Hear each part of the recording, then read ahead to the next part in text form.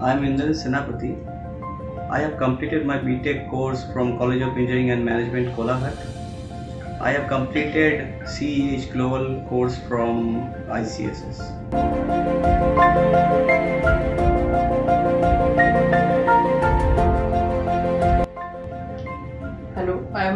Am I am from MCK Institute of Engineering and I have done information technology and I have done CEH and WAPT from Indian Cyber Security Solutions.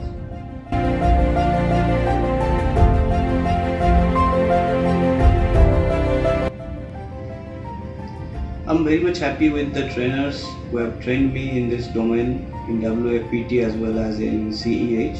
So yeah, uh, if you want me to rate it, I will be providing a high rate to the trainers who have trained me in this field. Okay, the, I am very much happy about the training because the trainers are very friendly and the approach of training is very laborative. So yes, uh, the training throughout the training, it's very. I am very happy, very much happy.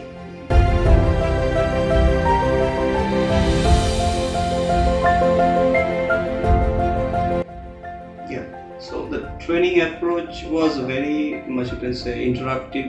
Uh, you know, we used to uh, do trainings in you can say uh, online and offline as well, uh, and also in labs. So we have done lots of things. So it was quite good.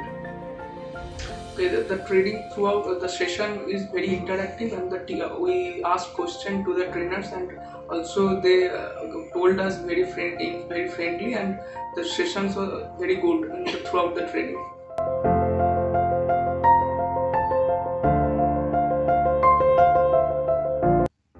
Yes, Indian Cybersecurity Solutions has kept its all the promises that they have provided.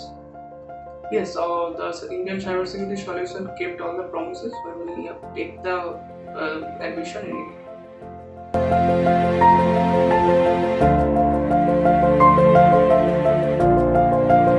Yes, I do recommend my friends to come and visit the place and to get trained from this institute and as well as some of my friends are doing that and they are doing great in the cybersecurity domain.